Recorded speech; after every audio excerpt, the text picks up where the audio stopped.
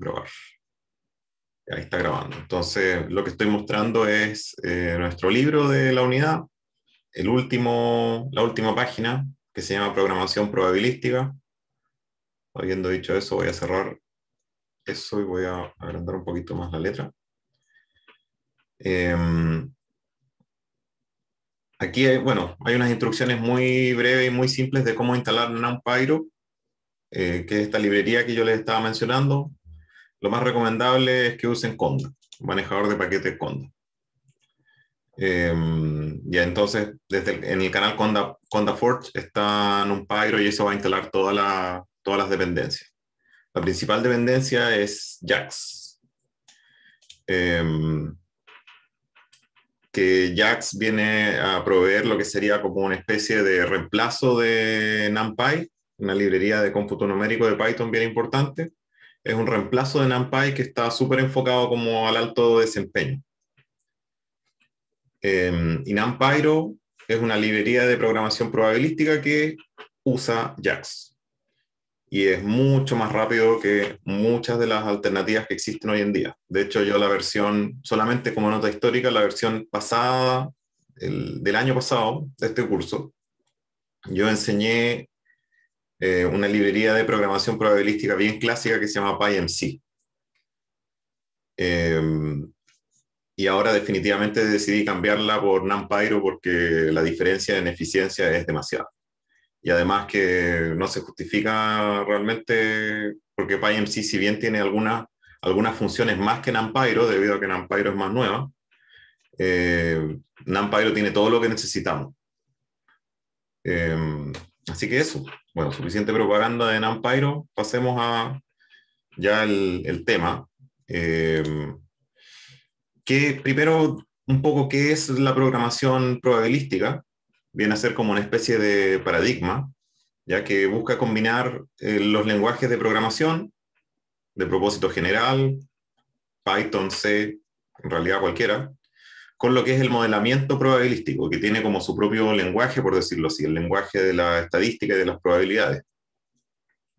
Y el objetivo es, eh, entonces, con esto, hacer estadística y muy eh, en concreto, y en particular inferencia bayesiana, que es tal vez el tipo de inferencia más beneficiada por el uso de la computación, como, em, como se habrán dado cuenta a medida que hemos hecho este curso. Entonces, eh, aquí hay como un diagrama eh, muy general, no recuerdo muy bien de dónde me lo robé, eso sí, em, que tiene como, eh, hace como un, una perspectiva. O sea, los lenguajes en ciencia de la computación, usualmente uno escribe, por ejemplo, un programa, ese programa puede ser una función, esa función tiene parámetros y devuelve un output. Entonces hay un flujo, como, como muestra aquí, como estas flechas hacia abajo. Yo ingreso los parámetros, el programa corre y me devuelve un output. Entonces CS se refiere a como ciencias de la computación en general. La estadística eh, es un poco, un poco distinta. Porque yo tengo un Y que son mis datos observados. Eh, y si bien, aquí hay escrita una, una probabilidad conjunta que modela eh, Y dado X, y aquí X viene a ser como el parámetro que yo quiero encontrar. entonces, inferencia va como en el sentido contrario. Si bien el modelo generativo va hacia abajo, yo cuando hago inferencia voy hacia arriba, porque tengo los datos observados, que en este caso son Y, y yo quiero la probabilidad de X dado Y. Quiero ese posterior. Y, y en paralelo, o sea, si, si, llevamos esto estadística como hacia un, hacia un lenguaje como de, o sea, como hacer el paralelo con el, con el de ciencias de la computación que está aquí, tenemos aquí arriba parámetros me refiero a los parámetros de una distribución que nosotros queremos encontrar. Eh, el output viene a ser las observaciones, ¿ya? Y el modelo viene a ser el programa. Entonces la diferencia es que eh, lo que está arriba, el primero que está en la flecha, perdón, el primero que está aquí en la columna es lo que yo quiero cuando quiero hacer programación probabilística. Entonces necesito ir en ambas, como en ambas direcciones. Necesito ir hacia arriba para inferir, necesito ir hacia abajo para generar. em, es un poco sobre la intuición de cómo funcionan los lenguajes de programación probabilística. Eh, como dije, existen muchos. Yo el año pasado enseñaba PyMC 3. Em, existe otro también bien famoso que se llama Stan, que tiene un grapper de Python que se llama PyStan. Y ahora nosotros nos vamos a concentrar en NumPyro, que es como el más nuevo que llegó a esta pelea. Pero no por eso, eh, no por eso eh, más malo, sino que al contrario, es bastante bueno. Entonces, lo que me gustaría que aprendamos eh, sobre NumPyro en este tutorial es cómo definir un modelo bayesiano. Ya significa cómo escribir su verosimilitud, su prior, etcétera. El modelo generativo, cómo escribirlo. Eh, cómo aplicar algoritmos de NCMC. Eh, nosotros ya hemos, hemos aprendido, aprendimos sobre Metropolis Hastings, aprendimos sobre cómo, sobre algoritmos de Metropolis, perdón, pero también mencioné que hay muchos otros algoritmos de muestreo, no solamente Metropolis. De hecho, aquí en este tutorial en particular vamos a usar otro. Eh, NumPy tiene muchos de ellos ya implementados. Entonces, la idea es que aprendamos cómo se usa un algoritmo de muestreo eh, para hacer MCMC con NumPy.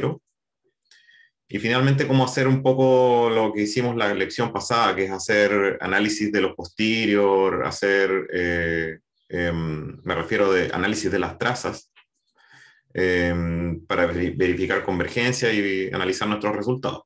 Entonces, esos son los tres puntos importantes. Y aquí está un poco más en detalle eh, sobre NumPyro, de dónde salió, eh, sobre JAX.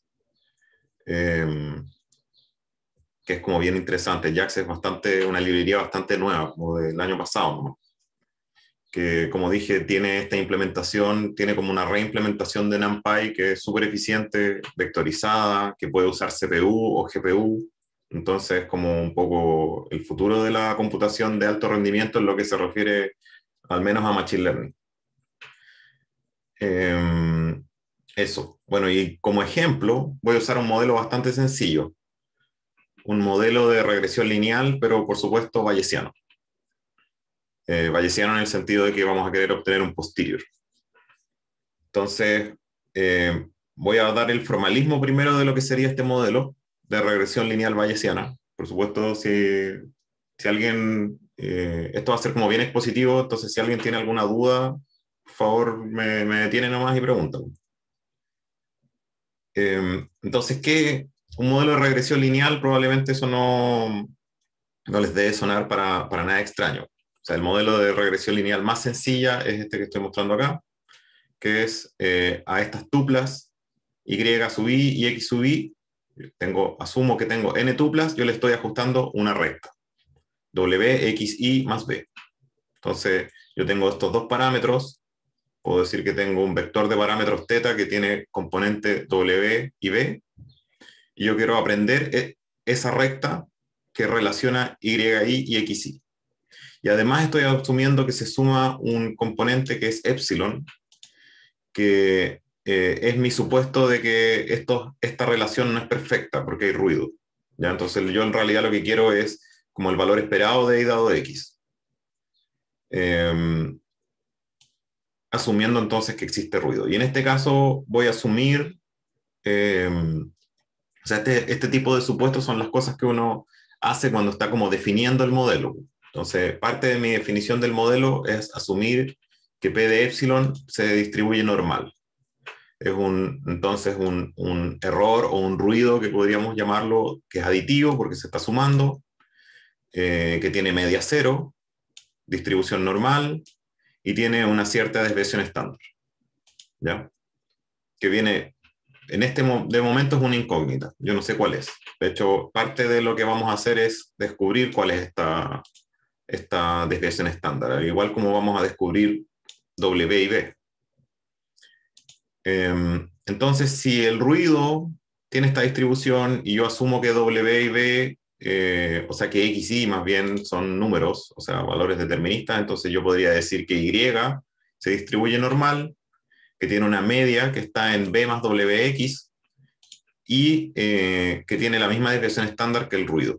Significa entonces que con esto yo puedo escribir una verosimilitud que es lo que se ve acá. Entonces, esto es una pitatoria de todos los elementos que tengo en mi dataset, eh, y para cada uno de ellos, entonces, eh, tengo una normal centrada en B más W por X sub Y y con desviación estándar sigma epsilon. Em, esto sería entonces como una, hasta acá en realidad es como una regresión lineal más o menos normal, pero ya con una interpretación probabilística, porque estamos hablando de verosimilitud.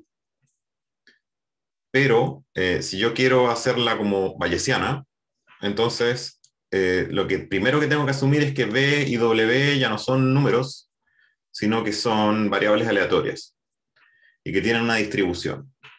Entonces, parte de mi definición del modelo es escoger una distribución.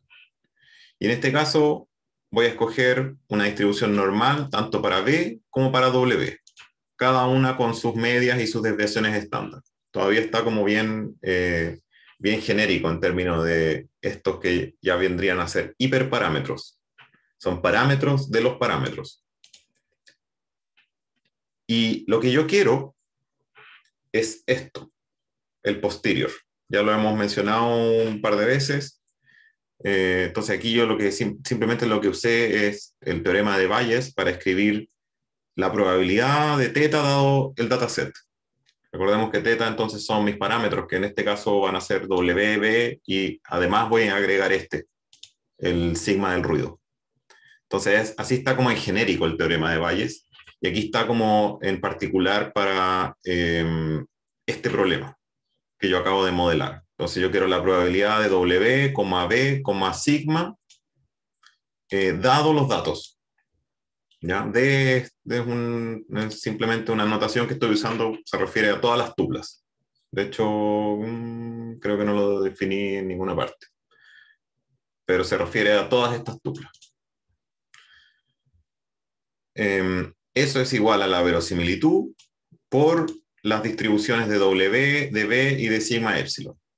Entonces, este es mi prior. Yo estoy asumiendo un prior factorizado, es decir, que asumiendo que, que si no condiciona los datos, W, B y sigma son independientes. Por eso puedo escribir P de W por P de B por P de sigma epsilon.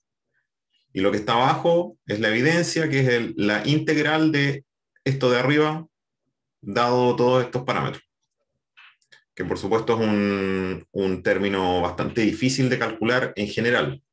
Ahora, para la regresión bayesiana, lineal bayesiana, tiene una solución analítica, pero para otros modelos eh, un poquito más complicados que este no, no existe esa solución. De hecho, el modelo que yo les voy a pedir en el proyecto no tiene solución analítica. Entonces, ahí la única forma es hacer MCMC o algún tipo de inferencia aproximada. Em, entonces aprendamos este posterior usando MCMC y usando NumPyro. Em, lo que estoy mostrando aquí son los datos que yo voy a usar. Entonces aquí me inventé unos datos de juguete, que son estos puntitos negros, y voy a evaluar después la capacidad de, de generalización de mi modelo de regresión lineal en eh, este arreglo que va entre menos 3 y 3 y tiene 100 puntos. Entonces estos son como mis datos de test. Em, eso. Entonces, idealmente un buen modelo va a pasar aquí como más o menos donde están los datos. Vamos entonces a hablar del modelo generativo. Entonces, ¿qué sería el modelo generativo en este caso? O sea, recordar, tal vez ya han pasado varias clases desde que hablamos de modelo generativo, fue la primera clase. Entonces, un modelo generativo es como el modelo que generó los datos y que eh, tiene mucha relación con estas definiciones que estábamos haciendo acá. Entonces, eh, muchas veces los modelos generativos se presentan como este diagrama que está acá, que se conoce como diagrama de placas. Eh, aquí a la izquierda está la leyenda, el diagrama de placas es esto de acá. Entonces, en esta leyenda yo estoy usando un cuadrado para las variables que son deterministas, un círculo blanco para las, variables, para las variables aleatorias, o en realidad un círculo para las variables aleatorias, y el círculo blanco es la variable que es latente, es decir, que, yo quiero encontrar, y eh, un color gris estoy usando para las variables que están observadas, ¿ya? o sea que yo tengo. En este caso, las que yo tengo se refieren al dataset. Entonces, el cuadrado gris es una variable determinista que está observada y el círculo gris es una variable aleatoria que está observada, que son justamente las tuplas xi e yi. ¿Ya? Los parámetros que yo quiero son b, w, epsilon, y además voy a modelar el sigma de, este epsilon. ¿Ya? De hecho, esto es lo que me va a interesar más que este en sí.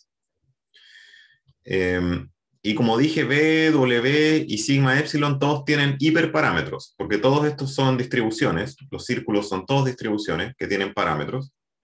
Y por ejemplo, B tiene una media y una desviación estándar, W una media y una desviación estándar, y a sigma voy a usar eh, un, un, gamma que eh, todavía no lo muestro, lo voy a mostrar un poquito más abajo. Un hiperparámetro que se llama gamma. Entonces yo voy a decidir estos que están aquí en los cuadrados. Voy a entregar los que están, eh, o sea, los cuadrados blancos yo los voy a decidir, los cuadrados grises yo los tengo, los voy a entregar, los círculos grises yo también los tengo y todos los otros eh, elementos que son blancos yo los quiero encontrar, quiero encontrar sus trazas. ¿Ya? Entonces, esto sería el modelo generativo. El último detalle que me falta para, para eh, eh, como explicar completamente este diagrama de placas es justamente esta caja que está acá. Eh, que esta caja es lo que se conoce como placa, de hecho, que está diciendo que yo tengo n ejemplos, n tuplas x, y e y. y esas, esas tuplas todas comparten b, w y epsilon. ¿Ya? Entonces, b y w son uno nomás, pero estos son n. Eso es lo que se refiere al diagrama de placas. Em, eso. Entonces, ¿cómo escribo esto? ¿Cómo escribo esto en NumPy? Necesito un par de primitivas. Necesito primitivas o funciones para escribir una variable aleatoria.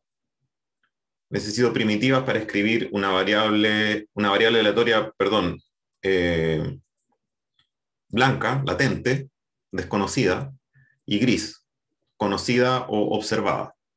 Necesito también eh, eh para escribir variables deterministas, como esta que está aquí abajo, y eh, también opcionalmente necesitaría una primitiva para escribir la placa. ¿Ya? Y eso es justamente lo que vamos a ver a continuación.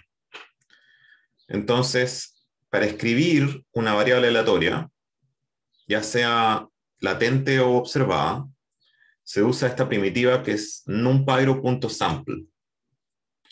Entonces, esto escribe, esto define una variable aleatoria y yo tengo que darle un nombre, que es un string, una distribución. Toda variable aleatoria tiene que tener una distribución y opcionalmente hay algunos otros argumentos.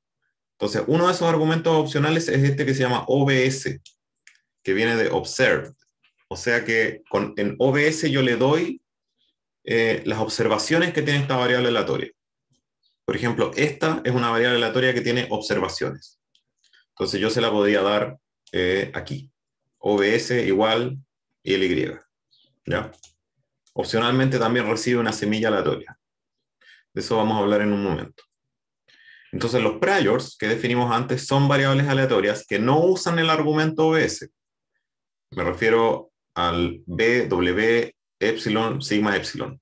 No usan OBS porque no son observados. No tengo observaciones de, eso, de estos eh, parámetros. En cambio, la verosimilitud, es decir, la distribución del YI, sí que utiliza OBS, porque ahí yo tengo observaciones, tengo mi dataset de entrenamiento. ¿Ya? Ahora una pregunta, por supuesto, ya sé cómo definir una variable aleatoria, pero ¿de dónde saco las distribuciones? Ya las distribuciones están todas todas las distribuciones conocidas están en, bueno, no sé si todas, todas, todas, pero son muchas, muchas las que ya están implementadas en numpyro.distributions. Entonces yo voy a mostrar en este caso en un momento cuáles son las que yo voy a utilizar. Pero en numpyro.distributions está la normal, la cochi, que es la que voy a ocupar aquí, exponenciales, gamma, beta, categórica, lo que, lo que se les ocurra en realidad. Una lista súper larga.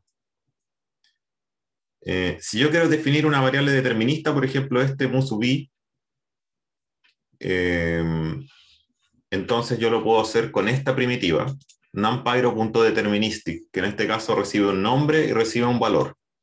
Y aquí yo tengo que darle un número.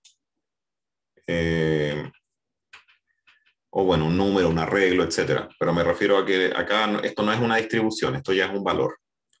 Y el nombre, lo único importante del nombre es que sea un string y que a distintas variables yo le dé distintos nombres. Los nombres tienen que ser únicos. Y aquí está ya em, definido el modelo que voy a ocupar.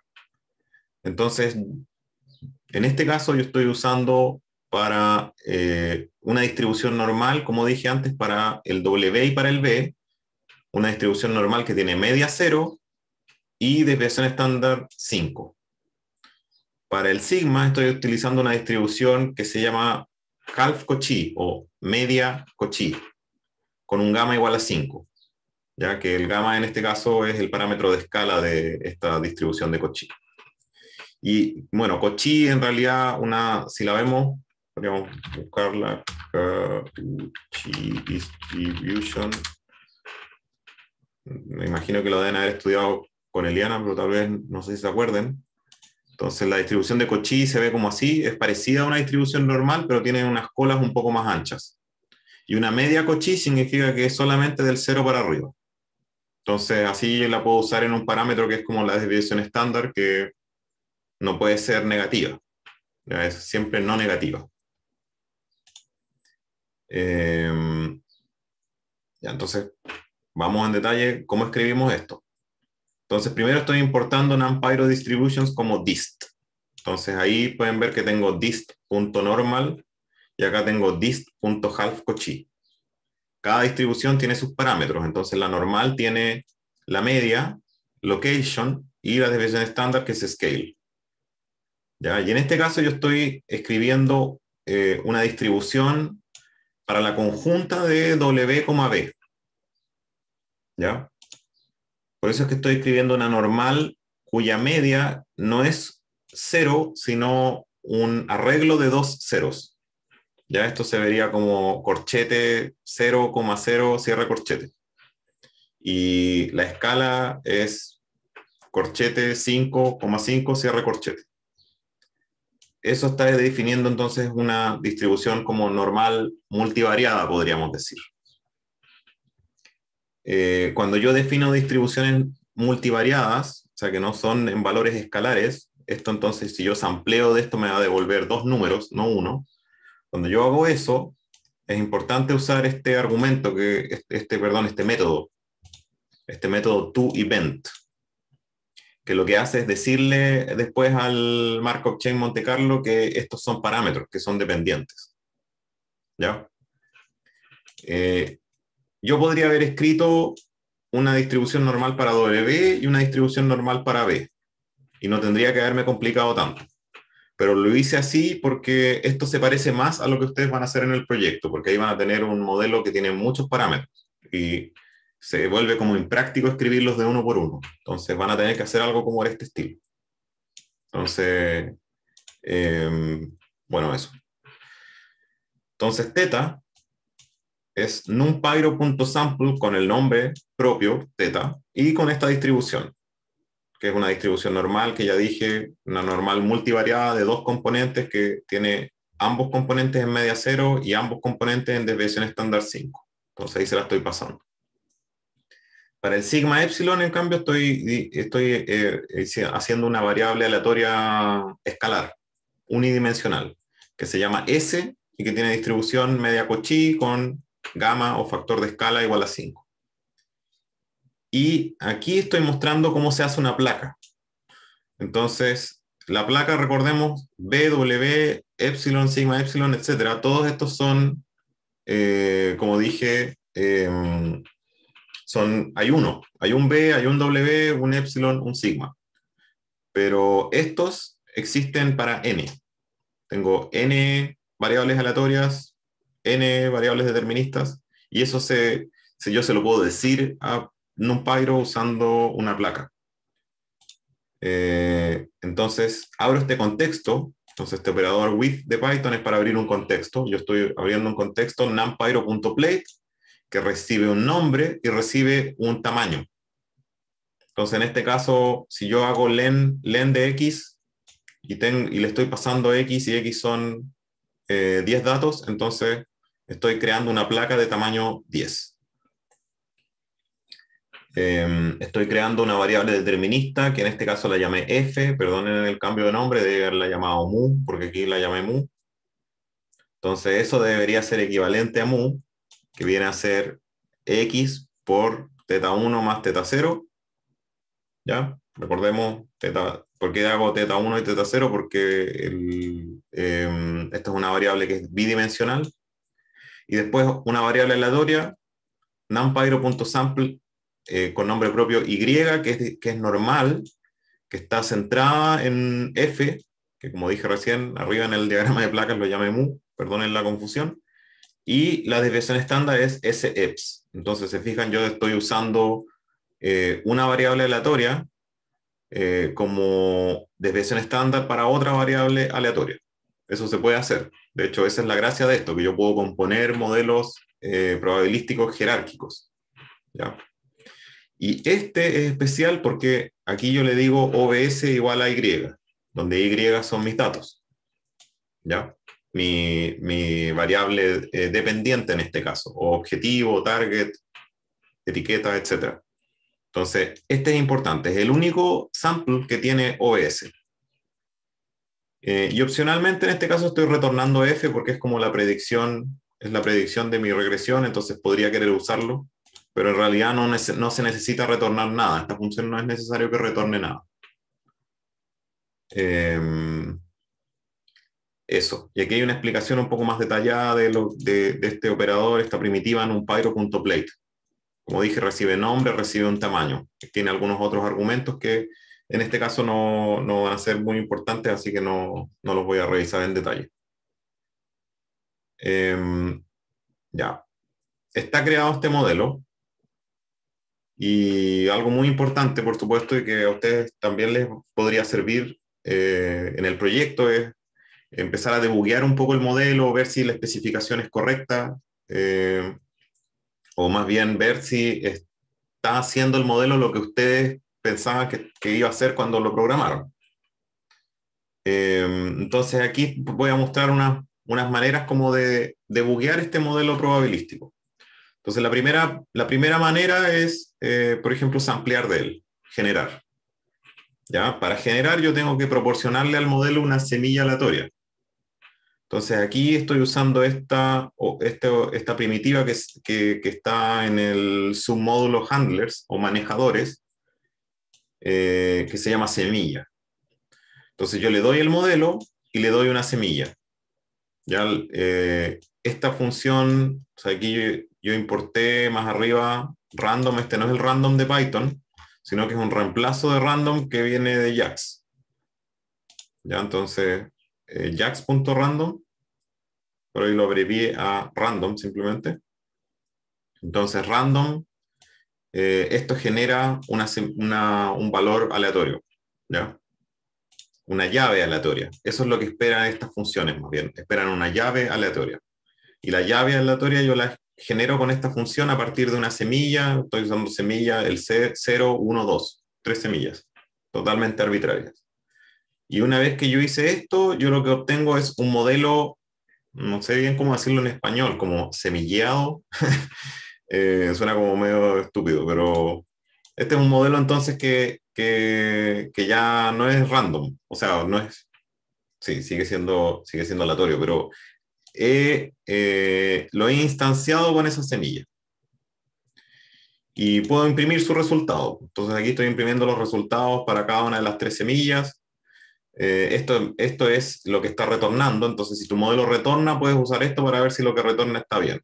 Yo esperaba que retorne un arreglo con 10 valores. ¿Ya? Tiene 10 valores. Y más o menos se ve como en el orden de lo que, de lo que uno esperaría. Ya esto es una distribución normal.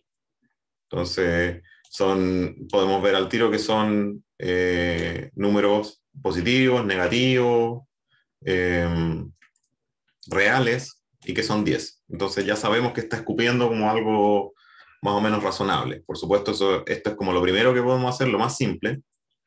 Otra cosa que podemos hacer es usar este, esta función que también es del módulo handlers, que se llama trace, que, que lo que hace es eh, correr el modelo y hacer, hacer como este diagrama, bueno, no, no es un diagrama todavía, pero eh, hacer como, te imprime esto, te, da, te devuelve esta información que dice eh, cuál es la dimensionalidad de cada una de tus variables. Entonces ahí puedes ver como claramente si es que la dimensionalidad que tienen las variables es la que tú esperabas. Entonces teta tiene dimensionalidad 2, S es eh, un escalar, no tiene dimensionalidad, la placa tiene 10, el Y tiene 10, así que todo parece como en orden. ¿ya? Y aquí yo dejé comentado, porque el NumPyro tiene también una función que se llama render model. Eh, NumPyro render model eh, pero aquí está. hay algunos ejemplos. Entonces, NumPyro Render Model genera esto, que es como un diagrama de placas. ¿ya? Entonces, em, si yo quiero, ahí sí, eh, como última forma de debuguear, porque esto solamente me dice la dimensionalidad, no me dice qué está conectado con qué. Si yo quiero ver eso, quiero debuguearlo, entonces yo puedo pedirle a, esta, a NumPyro que me haga un diagrama de placas. El único tema es que necesita esta librería que se llama GraphVis. Em, eso. Eh, otra forma de debuguear eh, sin em, em, me refiero sin, más, más allá de ver el diagrama de placas o ver la dimensionalidad de estas cosas, es ver los valores que están saliendo. Aquí ya lo estamos haciendo, pero solamente para una variable que es f, pero también lo podemos hacer para las demás variables. Entonces, para eso, como dice aquí, una forma más completa para obtener muestras del modelo es usando esta cosa que se llama numpyro.infer.predictive. Entonces, esto me va a construir una distribución predictiva que más adelante vamos a ver que sirve mucho para, por ejemplo, analizar el posterior. Eh, aquí la vamos a, utilizar para estudiar el prior, estudiar los priors, ver si los priors tienen sentido, eh, eh, se condicen con las especificaciones que nosotros hicimos.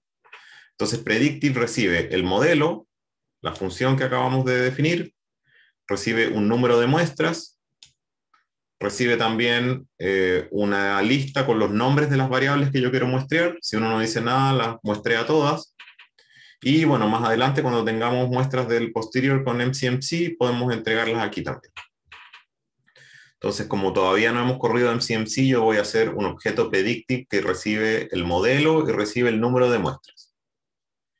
Y este objeto luego yo le tengo que dar una llave. Aquí estoy explicando entonces, esto muestra cómo generar una llave usando jax.random eh, y eh, para tener como más control, por ejemplo, yo no quiero estar cambiando, o sea, si uso la misma semilla cada vez que llamo esto, entonces no es muy, no es muy correcto eso.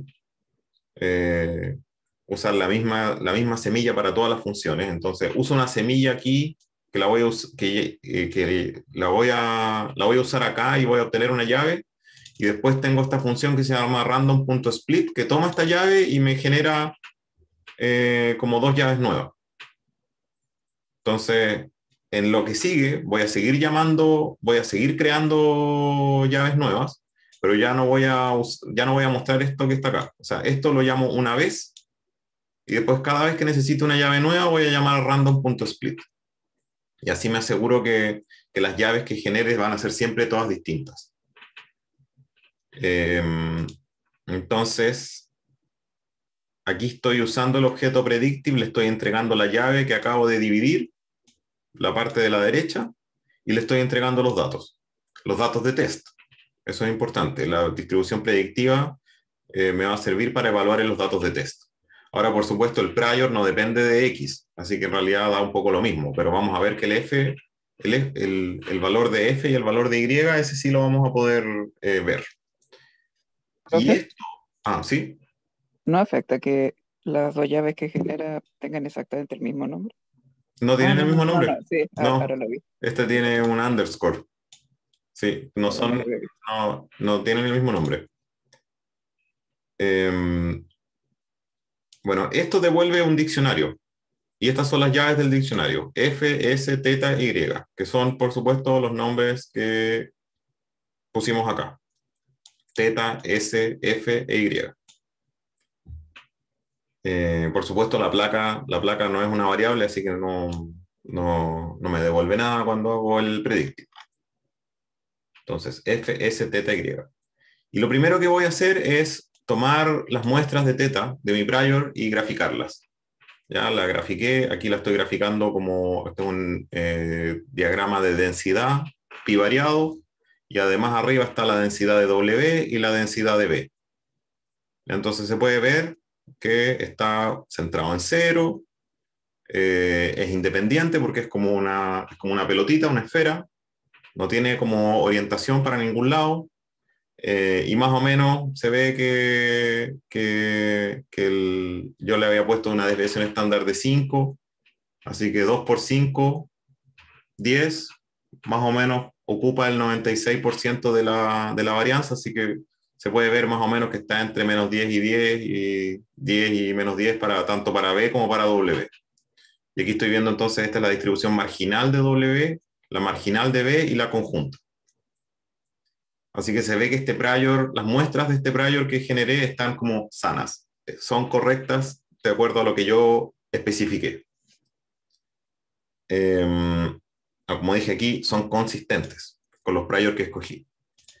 Eh, también, como dije, tenemos aquí F, tenemos F, Y, S y teta, entonces no solamente podemos ver teta, a continuación voy a mostrar eh, el F. Entonces, de este diccionario eh, voy a tomar el F, le voy a calcular los cuantiles, ¿ya? El 5%, 50% y 95%, y eso es lo que estoy dibujando acá. Entonces, recordar algo súper importante de este modelo, que lo vamos a resaltar varias veces, es que el, el resultado de un modelo bayesiano no es, o sea, la regresión lineal es una línea, en este caso. Pero el resultado de una regresión lineal bayesiana no es una línea, sino una distribución de líneas. Entonces me devuelve todas estas líneas, en realidad las líneas que quiera. Aquí yo estoy mostrando, eh, creo que las primeras, las primeras 100. Pero yo aquí pedí 2000, entonces tengo 2000 líneas y puedo seguir muestreando todas las que yo quiera. Y en base a esa distribución yo la estoy resumiendo con estos estadísticos que son los que están acá la mediana y el 95% del intervalo de credibilidad. Entonces, estos son los posibles modelos que tengo a disposición antes de haber usado los datos. Hasta este punto no he usado los datos. Entonces, todos estos modelos son modelos compatibles, todas estas líneas son compatibles con el modelo que yo creé. Em, y ahora lo que vamos a hacer es usar los datos, obviamente, para que ya el espacio de modelos posibles se vaya como reduciendo. Em, importante, estudiar las muestras nos permite detectar tempranamente si cometimos un error en la definición del modelo. Ya todo esto que hicimos, uno podría decir, ah, estoy como puro perdiendo el tiempo porque no estoy ajustando nada todavía. Eh, y eso, eso último es cierto, aún no he ajustado los datos, pero es importante hacer estos diagnósticos para ver si el modelo que escribí está bien, pues, porque si no, después lo que ajusto no va a estar bien y no voy a saber dónde está el problema. Entonces, esto es bastante útil. Em, y ahora que tenemos el modelo y que sabemos que está bien, hagamos MCMC. Y para hacer MCMC con NumPyro, la función principal es esta, que se llama numpyro.infer.mcmc. Casi todas las cosas que tienen que ver con Markov Chain Monte Carlo están en este módulo, submódulo que se llama infer, de inferencia. Y MCMC recibe un sampler, que es el algoritmo muestreador, puede ser Metropolis o los que vamos a usar, por ejemplo, más adelante. Eh, el número de, iteraciones o muestras que voy a descartar, estos entonces son las muestras de burn-in, las que voy a quemar, Después el, largo de la traza, ¿ya? Número de muestras que, con las que me voy a quedar. El número de cadenas, por defecto es una. Y el thinning, que era este, cuando vimos diagnóstico, hablamos un poco de eso, que thinning es, si yo digo uno, me quedo con todas las muestras, si digo dos, me quedo con muestra por medio, que sirve como para artificialmente reducir la correlación, pero perdiendo, por supuesto, información.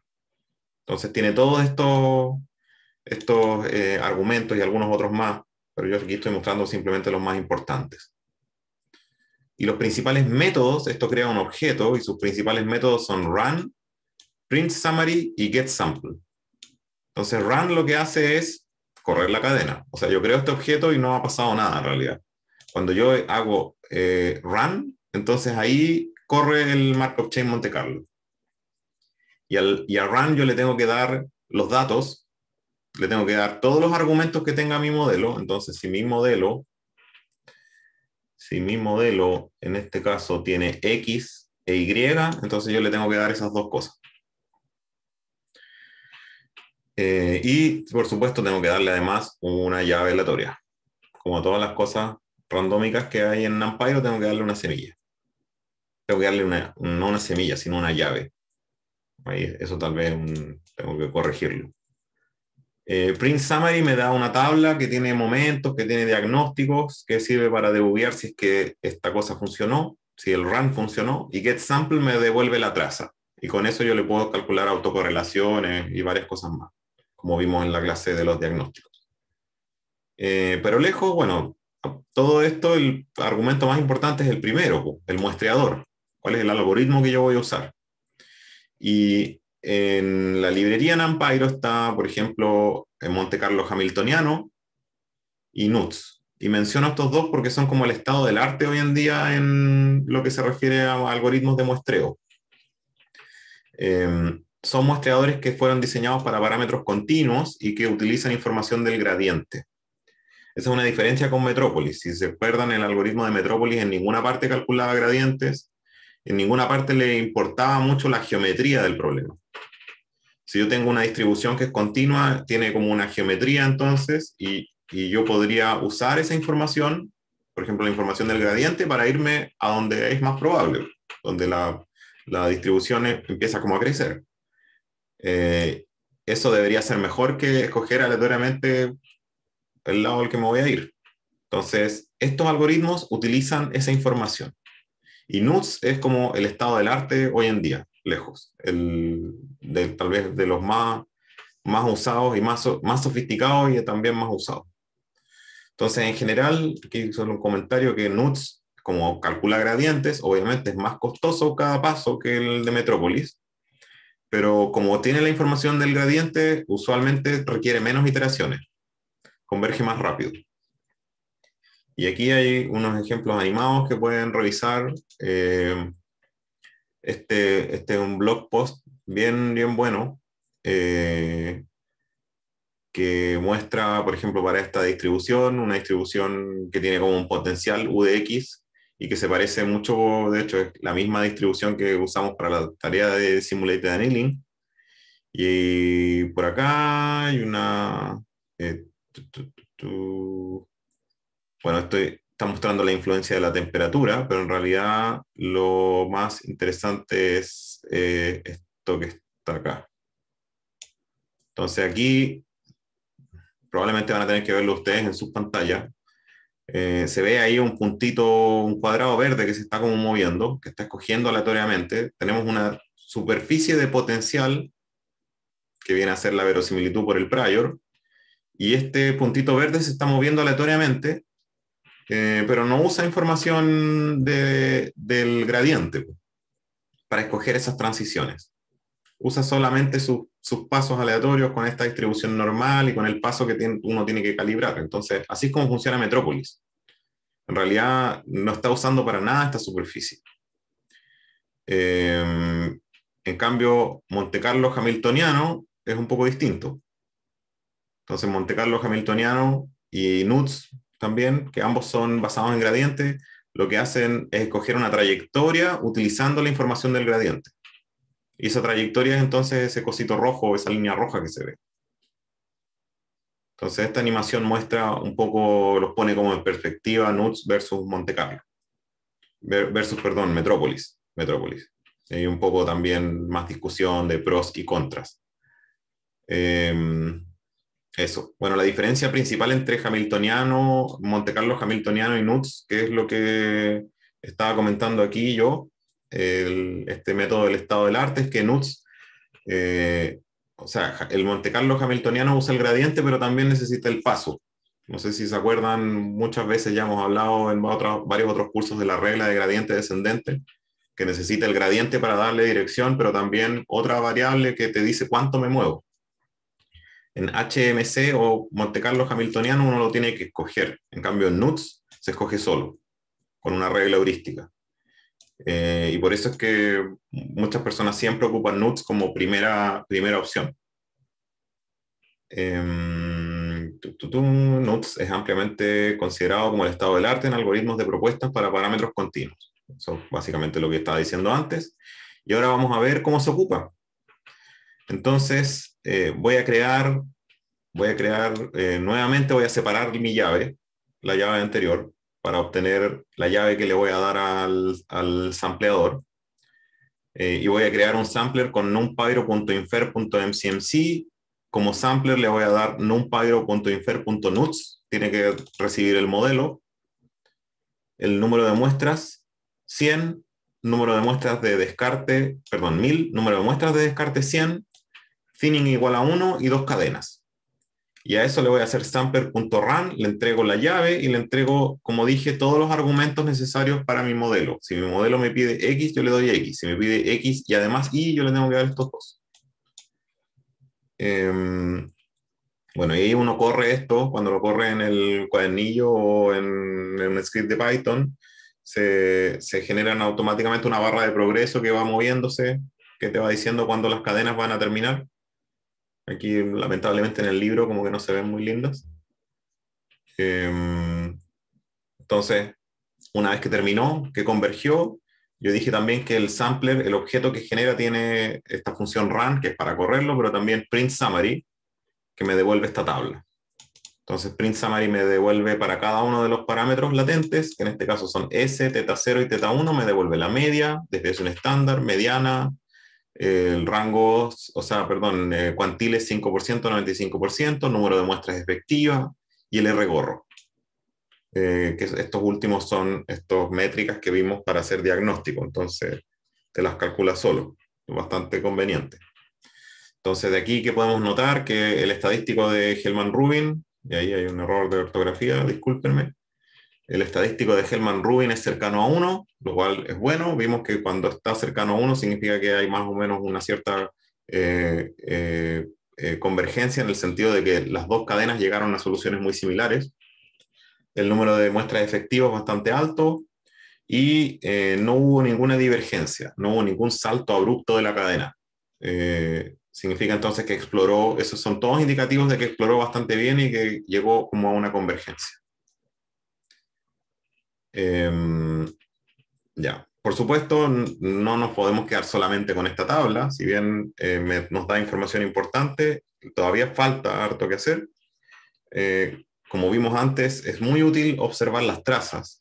Y para observar las trazas, entonces, aquí lo que estoy mostrando, voy a obtener las trazas con esta función getSamples. Lo guardé en esta variable que se llama posterior samples, que es un diccionario y que tiene f, tiene s y tiene teta todas las variables no observadas, deterministas y estocásticas. Y aquí estoy mostrando la traza de W, de B y de S. Entonces la de B es la que está en rojito, W en azul, S en amarillo y se ve eh, unas trazas, bueno, recordemos que son dos cadenas, cada una de mil, y en este, cuando, cuando yo ocupo get samples, yo puedo pedir que me las separe que me separe las trazas de cada cadena o por defecto me las entrega todas juntas, como una después de la otra. Entonces aquí se puede ver que las cadenas eh, prácticamente son iguales, llegan al mismo resultado, porque si no habría un salto aquí en el 1000. Se puede ver también que eh, eh, se ven justamente como ruido en torno a un cierto valor. Em, no hay valores que se mantengan en el tiempo, no hay un comportamiento lento, ¿ya? Entonces, eh, ya viendo esto, podemos imaginar que la autocorrelación en general va a disminuir rápido y va a irse a cero rápido, y que tiene poca dependencia, así que se ven unas trazas muy sanas. Em, bueno, y justamente lo que muestro a continuación es la autocorrelación, la misma función clásica que hemos estado usando ya en la eh, sesión anterior. Eh, y aquí se puede ver la autocorrelación de S, de W y de B. Y todas tienden a cero muy rápido. Eh, ahí tienden a cero muy rápido. y se mantienen en torno a cero. Tal vez la de S tiene un poquito más de dependencia, pero muy baja eh, de todas formas. Entonces, las trazas nos dicen que esto está más o menos bien. La autocorrelación también nos dice que esto está bien, pinta bien. Por último, también podemos ver el posterior. Al igual como vimos el, el posterior anteriormente, voy a mostrar el posterior de, de los parámetros de W y B. Entonces se puede ver aquí la distribución conjunta, y las distribuciones marginales. Ahí en, en la línea negra yo estoy usando, eh, estoy usando los, eh, ¿cómo se llama? Los valores reales, los que yo usé para inventarme estos datos. ¿Ya? Entonces aquí podemos ver algo, algo que, o, más bien podemos rescatar algo o notar algo bien interesante, que si yo tuviera, si yo, mi modelo no fuera bayesiano, entonces yo no tendría esta distribución marginal, tendría solamente el máximo de esa distribución o la media de esa distribución. Entonces, el valor real es 2,5, yo tendría 3. Pero aquí tengo mucha más información, porque tengo toda esta distribución. Entonces, el modelo me está diciendo que sí, bueno, según el modelo 3 es el más probable, pero 2,5 está dentro de esta distribución. O sea, ahí el modelo tiene una cierta incertidumbre de cuál es el valor correcto de W. Y el valor real está dentro de esa, incertidumbre. Entonces ahora yo no solamente sé cuál es el valor más probable, sino que sé también qué tan seguro está mi modelo de ese valor. Y eso es súper importante, porque si yo quiero tomar decisiones en base a estas cosas, es súper útil poder saber qué tan inciertas, qué, tan inciertas son los, parámetros, qué tanto yo puedo confiar. O sea, aquí me está diciendo que es prácticamente imposible que sea menor que 1,5 o mayor que 4,5. Antes, o sea, un, modelo no bayesiano no te podría decir eso. Em, este es entonces el posterior de teta, de W y B. Pero por supuesto hay, hay una cosa que es más importante todavía. Esto es un modelo de regresión lineal y por supuesto lo que queremos hacer es evaluarlo en datos nuevos. Queremos hacer predicciones. Eh, entonces, si bien ya dije, esto es interesante, en realidad lo que queremos es esto, que es lo que se conoce como la distribución posterior predictiva. Ya quiero la probabilidad de Y dado X y dado, dado que tengo el dataset. Entonces, para un nuevo X, yo quiero la probabilidad de Y considerando mi dataset, el dataset que usted para entrenar y eso se escribe como esta integral. Donde por lejos la parte más difícil de esta integral es esta cosa el P de teta dado D, el posterior. Pero ya lo tengo acá. Esto es, esto es, P, esto es P de teta dado D. Ya tengo el posterior. Entonces, puedo calcular el posterior predictivo y eso básicamente es lo que hace esta función numpyro.infer.predictive, que ya lo usamos para ver el prior, pero ahora la vamos a usar para el posterior. Entonces le voy a pasar el modelo, le voy a decir que quiero que me devuelva f y quiero entregarle también las muestras de mi, mi posterior. ¿Ya? Entonces, las muestras de P de teta dado D, que yo guardé aquí como posterior samples, esta variable, yo se la entrego al eh, objeto predictive y después simplemente eh, eh, hago una em, em, sampleo, hago un muestreo de estos, de estos modelos. Nuevamente estoy mostrando 100 ejemplos aquí a la izquierda y mostrando la mediana, que es la línea azul, y el intervalo de confianza al 95%, perdón, el intervalo de credibilidad al 95% de este modelo. Entonces eso es lo que está aquí a la derecha, y aquí estas 100, 100 rayitas son 100 ejemplos muestreados aleatoriamente de este posterior predictivo. Nuevamente entonces recalcar que el modelo bayesiano No nos retorna solamente la línea del medio, que es lo que nos daría un modelo no bayesiano, sino que nos da toda una distribución de soluciones posibles. Ya, todas estas líneas que están acá vinieron de mi modelo. Y eso me permite a mí no solamente estudiar o, hacer eh, inferencia en base al, al, al, modelo más probable, sino también a la incertidumbre. La incertidumbre puede venir de, un modelo, la especificación del modelo puede venir también, de hecho, más aquí viene más bien del ruido que tienen los datos. Y algo que es interesante es que eh, si se fijan, esta incertidumbre como que es mínima aquí, donde tengo más datos. Y a medida que yo me alejo de mis datos, entonces la incertidumbre empieza a crecer. Cada vez mi modelo es menos confiable a medida que me alejo de lo que yo observé. ¿Ya? Entonces podríamos imaginarnos que esto se estira, por ejemplo, de entre menos 10 y 10 y esta cuestión ya está súper gigante. Entonces ahí ya no, puedo, ya no puedo confiar en mi modelo, básicamente. Eso es lo que me está diciendo esta cosa. Eh, eso. Eh, con eso terminamos de revisar este material. Por supuesto, ustedes van a tener que revisarlo nuevamente, más detalle, probar, estos códigos. También les recomiendo tomar este cuadernillo que está en el repositorio del curso y correrlo. Eh, eh, correrlo, me refiero, de forma interactiva, porque les va a servir para desarrollar el proyecto. Em, Quisiera saber si hay alguna duda de lo que acabo de mostrar, algún comentario eh, antes de avanzar.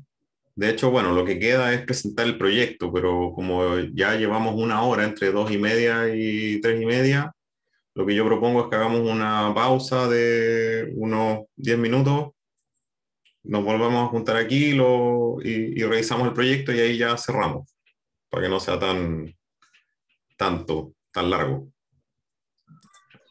Profe, a mí, a mí me, me gustaría saber, profesor, la cantidad de líneas que aparecen ahí eh, en, el, en, el, primer gráfico es relacionado a la cantidad de trazas que saca el modelo predictivo, ¿cierto? Exacto. Muy, buena observación. Eh, yo en este caso usé mil muestras y dos, dos cadenas. Significa que en total tengo 2.000 eh, muestras de mi posterior. Y, y aquí, efectivamente, aquí yo estoy graficando, estoy graficando solamente las primeras 100, pero efectivamente son 2.000 líneas. Cada muestra de mi posterior me da una línea. Entonces, si yo uso una traza más larga, voy a tener más de estas líneas. Así que muy buena observación. Vale, gracias, profe.